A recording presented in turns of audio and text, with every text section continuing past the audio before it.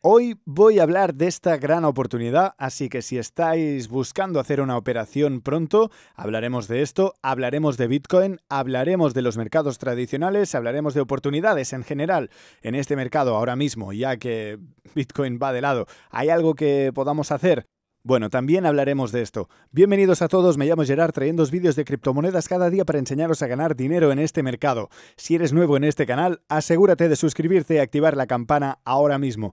Ayer creía que íbamos a ver un movimiento en Bitcoin y pensé que íbamos a verlo debido a que los mercados tradicionales estaban teniendo un pump o un dump y que iba a repercutir en Bitcoin. Y lo que vimos ayer, podéis ver esto justo aquí a las 8.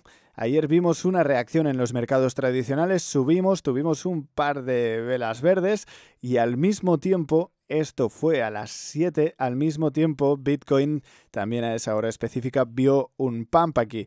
Este pump no fue muy fuerte, podéis ver que vimos un pump hasta la línea roja, intentamos romperla unas cuantas veces, de hecho intentamos ir y cerrar por encima de ella, pero al final no conseguimos hacerlo. En su lugar tenemos múltiples rechazos y ahora nos encontramos todavía por debajo de la línea roja.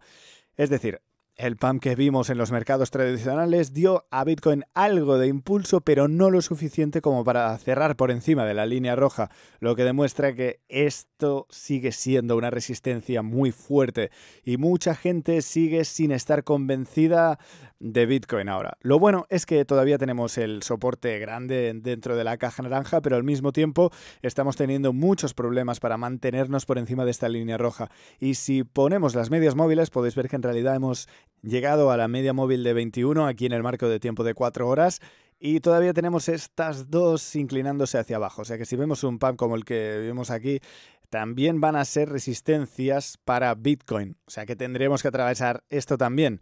Toda esta zona se está reforzando ahora mismo. Tenemos un gran soporte, pero también estamos teniendo muchas resistencias. O sea, esto es realmente lo que está pasando con Bitcoin. No ha hecho nada especial desde hace casi dos o tres semanas ya. O sea que todavía nos encontramos básicamente en el mismo nivel. Y mucha gente se está aburriendo. Entiendo que mucha gente se esté aburriendo y mucha gente se pregunta qué podemos hacer mientras Bitcoin va de lados. Si, es, si no queréis esperar una buena oportunidad en Bitcoin, bueno, hay unas cuantas cosas que se pueden hacer, pero antes de hablar de esto, otra cosa eh, también en el marco de tiempo diario es esta enorme cuña. Podéis ver que durante los últimos días hemos estado intentando romper esta cuña y también está reforzando toda esta zona de resistencias de aquí, aproximadamente 42 mil dólares. Ahora mismo veis la cuña descendente. En otras palabras, si rompemos la línea roja de aquí, también significa que estaremos rompiendo la resistencia de la enorme cuña lo que es muy, muy alcista para Bitcoin. Pero vamos a ver un gran movimiento en Bitcoin más pronto que tarde, porque como sabéis, estas se están inclinando hacia abajo, la línea roja aquí. Bitcoin en algún momento va a tener que tomar una decisión. ¿Va a bajar o va a subir y romper estas resistencias? Y esto va a ser muy, muy interesante. Especialmente cuando pasamos al marco de tiempo semanal, podemos ver que todavía tenemos el peligro inminente de un cabeza y hombros potencial aquí. O sea que si vemos un breakdown, bueno, esto también ejecuta el patrón cabeza y hombros, lo que va a llevar muy probablemente a algo más de caída.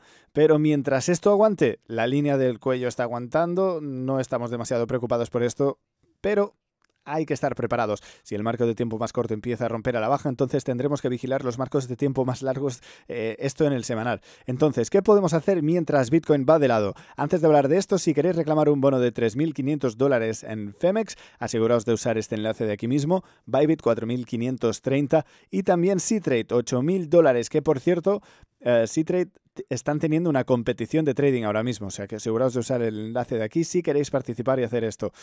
Esta oportunidad de la que quiero hablar es, bueno, esta es una enorme cuñas, es la moneda CRO de Crypto.com que fue hackeada hace unos cuantos días, pero el precio no está reaccionando demasiado a ello. Está tendiendo la baja dentro de esta cuña, pero esto se ha estado formando desde noviembre, el pasado noviembre, o sea que está bastante bien en el marco de tiempo diario. Seguimos apretándonos dentro de esto y estamos justo en el vértice de tener un breakout. Lo que es realmente interesante, porque si vemos un breakout desde este patrón, técnicamente podríamos subir hasta 90 centavos, lo que sería más de un pump del 100%, pero también tenemos que entender que haga lo que haga Bitcoin, si Bitcoin ve un, break, un breakdown, lo más probable es que esto rompa a la baja en este caso. Pero todavía quería enseñaros esto porque es una enorme oportunidad para la moneda de crypto.com. Y para seguir hablando de esto mientras Bitcoin va de lado, todavía hay algunas oportunidades en altcoins. Eh, si miramos las últimas 24 horas, todavía tenemos algunos buenos pumps entre estas monedas, un 9% en algunas de ellas durante los últimos 7 días. Recordad que Bitcoin ha estado yendo de lado durante unas 2 o 3 semanas. Todavía tenemos en el top 100 de monedas un 30%, un 20%, un 15% en pumps. Y en las monedas más pequeñas, que no están incluidas aquí, sois capaces de conseguir más. O sea que siempre hay oportunidades en altcoins, pero también hay más riesgo. Porque si vemos que Bitcoin cae desde el nivel de 40 mil dólares, básicamente desde, desde, esta caja naranja, lo más probable es que esto arrastre a las altcoins hacia abajo también. O sea que, aunque sí, Bitcoin está yendo de lado, podemos entrar en altcoins y entrar en operaciones con altcoins, pero siempre existe el peligro inminente de que Bitcoin baje y también arrastre las altcoins. Y los NFTs, eh, Board Ape Yacht Club actuará como un proxy del mercado NFT en este momento.